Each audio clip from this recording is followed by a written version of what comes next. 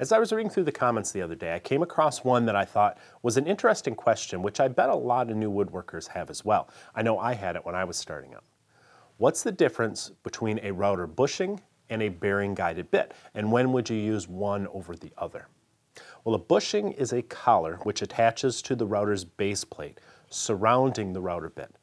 Bushings come in different sizes and are used to guide the cut while using certain jigs and templates. A bushing stays stationary while the bit's cutting length may be extended or retracted within it. They may be used with handheld routers and in some cases at router tables as well. A bearing guided router bit features a ball bearing either on the end or at the base of the cutter. If the bearing is on the end, it's called a flush trim bit. If the bearing is at the base of the cutter, it's called a template bit. Bearings are used to guide the bit while using certain jigs and templates, just as bushings are. But while a bushing is larger in diameter than the bit itself, a bearing is of the same diameter. Another way a bearing guided bit differs from a bushing is the bearing must move as the bit is extended and retracted within the router, which may make it challenging to use in some situations. Now let's discuss some of the situations in which you may use a bushing or a bearing. This mortising jig requires a bushing. It would not work with a bearing guided bit. Obviously a bearing on the end of a bit would make it impossible for that tip to cut down into the wood. If you were to use a template bit with a bearing at the base of the cutter, the bit would have to be fully extended at all times so the bearing can ride against the template. In such a situation, the mortise will automatically be cut as deep as the bit is long you would need different bits for different mortise depths. You would also be forced to cut the mortise in a single shot, and that can be hard on the bit and the router.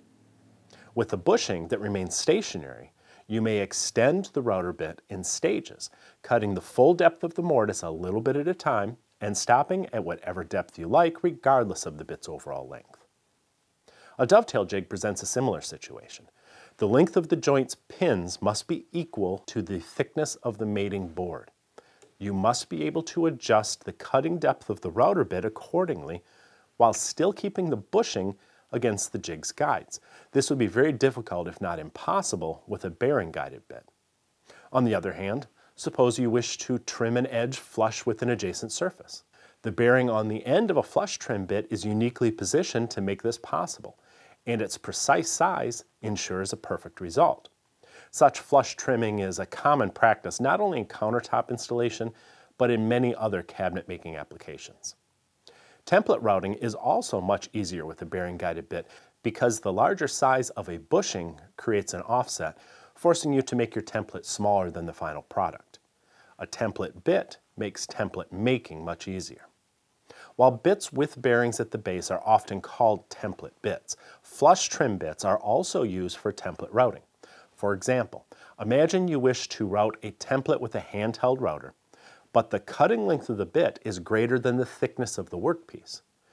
To keep the end of the bit from cutting deeply into your spoil board that's protecting your benchtop, you might try to raise the bit, but that may lift the bearing above the template's edge. There are two solutions to this problem. You might use a thicker template to raise the router higher, reducing the amount the bit will be able to cut into your spoil board, or you could just flip the workpiece so the template is on the bottom and use a flush trim bit which has a bearing on the other end. You have a similar choice to make at the router table. Here, the overall cutting length of a template bit is immaterial because the excess can simply protrude into the air above the workpiece.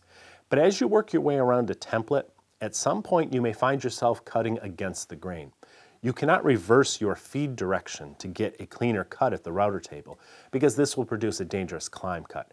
We have a tutorial about grain direction and router climb cuts that I'll link to below this video if you wish to learn more on that subject.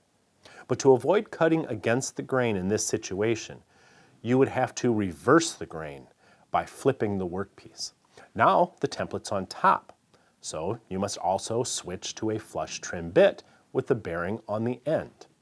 If swapping router bits mid-cut sounds like a pain, well, they make some bits with bearings on both ends of the cutter, sort of a flush trim template bit hybrid.